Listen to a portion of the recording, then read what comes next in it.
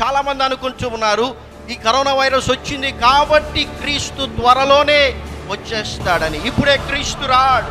ఎందుకంటే యేసు ప్రభులు వారు చాలా స్పష్టంగా చెప్పారు. లుకా సువార్త ఇరవై ఒకటవ అధ్యాయము పదకొండవ వచనములో అక్కడక్కడ గొప్ప భూకంపములు కలుగును దిగుళ్ళును కరువులను తటస్థించును ఆకాశము నుండి మహాభయోత్పాతములను గొప్ప సూచనలను పుట్టును. ఇవన్నీ కూడా జరగాల్సింది. తెగుళ్ళు రావాలి. కేవలం ఇది ఒక తెగులు మాత్రమే. కరువులు రావాలి. ఆకాశము నుండి మహాభయోత్పాతములను గొప్ప సూచనలను పుట్టాలి. అందుకే మొత్తం ఈ సువార్త ఇరవై నాలుగవ అధ్యాయంలో యేసు ప్రభులు వారు అంటూ ఉన్నారు. జనముల మీదికి జనమును రాజ్యం మీదికి రాజ్యమును లేస్తాయి. మీరు యుద్ధములను గురించి యుద్ధ సమాచారములను గురించి వింటారు. అయితే మీరు కలవరపడాల్సినటువంటి పనిలే. ఎందుకంటే అంతము వెంటనే రాదు. ఇంకా చాలా జరగాల్సినటువంటివి ఉన్నాయి.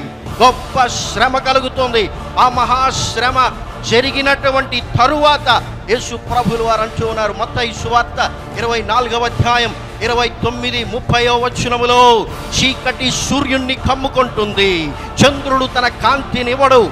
ఆకాశ నక్షత్రములు రాలుతాయి. ఆకాశమందలి శక్తులు కదిలించబడతాయి. అప్పుడు మనుష్య కుమారుని గుర్చినటువంటి సూచన ఆకాశంలో కనిపిస్తుంది. అప్పుడు మనుష్య కుమారుడు ప్రభావముతోను మహామహిమతోను ఆకాశ మేఘార్హుడై ఆయన వచ్చుట చూచినప్పుడు భూమి మీదనున్నటువంటి సకల గోత్రముల వారు రొమ్ము కొట్టుకుంటారు.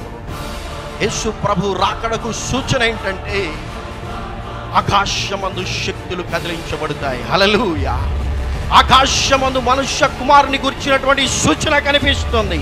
అదే ఆయన రాకడకు సూచన.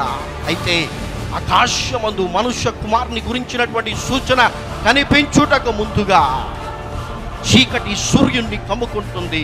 చంద్రుడు తన కాంతినవడు. ఆకాశ నక్షత్రములు రాలిపోతాయి. ఆకాశమందలి శక్తులు కదిలించబడతాయి. ఆకాశమందు మహాభయోత్పాతములను గొప్ప సూచనలను పుడతాయి ఇవన్నీ జరగాల్సింది.